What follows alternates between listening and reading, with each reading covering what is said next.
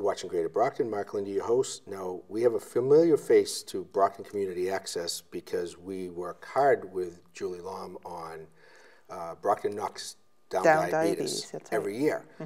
But you work for the Brockton Visiting Nurse Association. I do. You do that as part of your job, but more as a volunteer because you really care about people.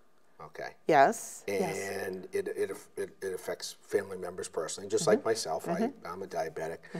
But the Brockton VNA is an over a hundred year strong organization, nonprofit. That's it's right. a key That's right. component in Brockton. That's right. It's independently standing too. Um, so we um, we answer to nobody but ourselves, which is a good thing because we are able to not have to deal with all the red tape and go through lots of rigmarole.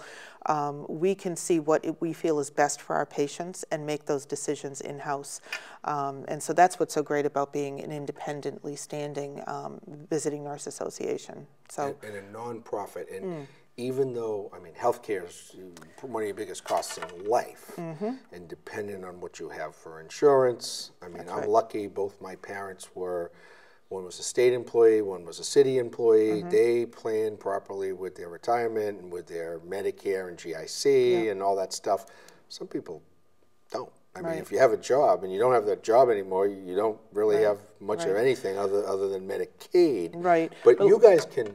We- we take all through- payers. You can sift through the red tape, and you can mm-hmm. put all the what I've learned in mm-hmm. the past couple of years with my dad being sick. My dad's close; he's ninety, just made 90 mm-hmm. thank God. Um, just all the different OT, PT, That's right. you name it. If someone's confused, okay, you know, back in the day, Brockton Area Helpline always directed people in the right place, United Way too. But there's a lot of VNAs out there. There are lots of for-profits. There are a lot of affiliations with hospitals like Steward Group. Mm-hmm. If they want you to have the VNA, they're going to probably give you the Steward VNA in all So, likelihood. so what people need to understand about that is that we all have choice as to which visiting nurse association we would like to use in our homes and for our families. Um, and so just because a certain hospital or medical group is affiliated with a particular VNA, and not saying anything against that particular VNA, they could certainly suggest, but you have the right to say, yes, I'll go with them, or no, I'd rather go with another VNA that I'm more familiar with or that I want to go with because, you know, I, I've looked up and I've done my homework and I see that they have better outcomes. Um, so we all have choices.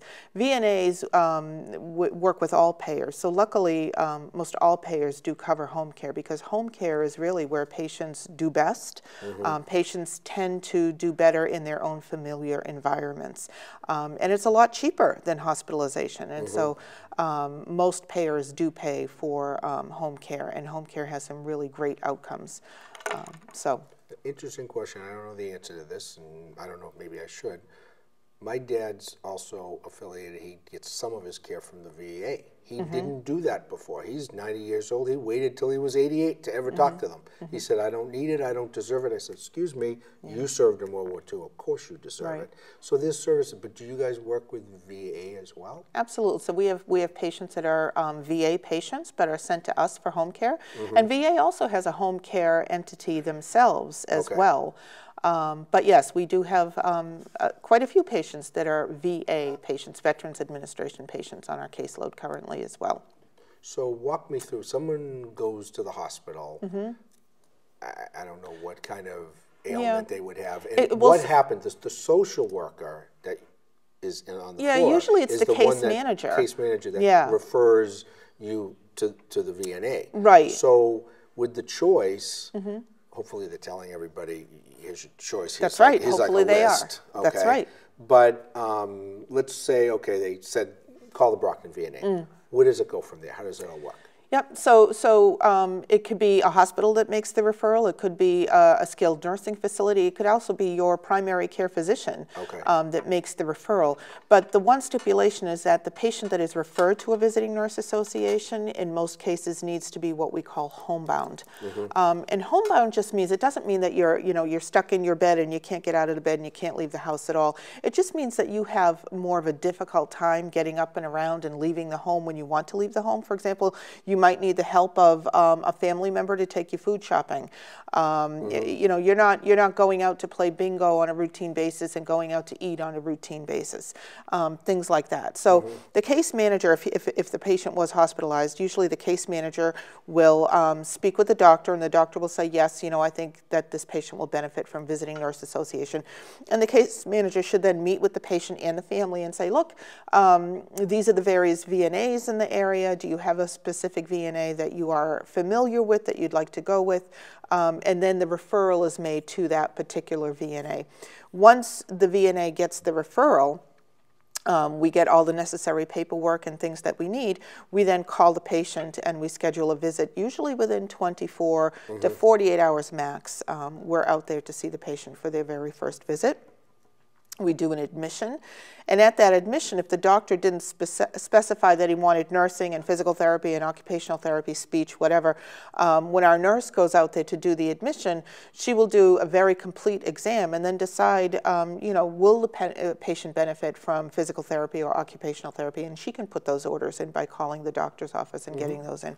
So various specialties um, can be seeing the same patient um, at the same time. They're pretty mobile. They they get the cell phones, they get the little Computers with Yeah. them Yeah. because everything's becoming more electronic That's and less right. paper. That's right. And um, you know, sometimes those those are the only points of contact that the people have. That's right. house. Let's say That's the right. Mm-hmm. family kids have moved away, mom and dad are still here, but you know, someone's in New York, someone's in Florida, someone's right. someplace else. But That's right. these people are These like people depend. lifesavers. That's right. They depend upon us, and you're absolutely right. You know, life is so mobile nowadays. Many of our employees really don't even need to come into the office. You know, everything is done over the internet. They sync their assignments on their computer, so they know who they're going to be seeing that day.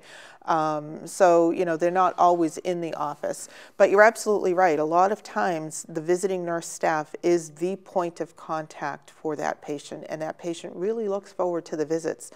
Um, so it is really important for us as visiting nurse association staff to keep in close contact, obviously with the patient, but the patient's family and tying things together with the physician and specialists and, and everything else that we need to do. So we're sort of like, you know, coordinate all of those, um, all of those visits together for that patient. How big is the Brockton VNA these days? How many employees? You're, you're over, Yeah. is it 500 Belmont? It is. It's 500 Belmont Street. Um, so I want to say that we have about 100 nursing staff, um, and then on top of that, we have physical therapists, speech and occupational therapists as well. Um, so you know, again, I didn't. I, I, I'm not sure off the top of my head, but I'm going to say we're between one and 200 um, clinicians strong. Um, we are able to see patients 24 7, um, so that if a patient is not able to get to a, um, a doctor's office or they're not feeling well and it's 10 o'clock at night, um, rather than calling 911 for something that's non emergent, they could call the Brockton visiting nurses. We answer the phone, and if we need to send out a nurse at 10 at night or 2 in the morning, we're able to do that. I didn't know that. Yeah, absolutely. 24 7 it's care. good to know. Yeah. Phone number, website, uh, Jay gave me the one minute cue, so you and I Yeah. could talk for days. Okay, So yeah, tell us that absolutely. So, so the phone number for Brockton Visiting Nurses is 508 587 Yeah, 2121. Um, and the website is brocktonvna.org. Mm-hmm. Um, I am the diabetes education manager, so chances are if, if the person is homebound and has diabetes, either myself or my colleague Diane will be seeing them. We have an American Diabetes Association recognized education program um, as well. So we've got a lot of specialties we're at Brockton bringing you back for that one. We'll, Yeah. we'll, we'll wrap that into Awesome. BKKD.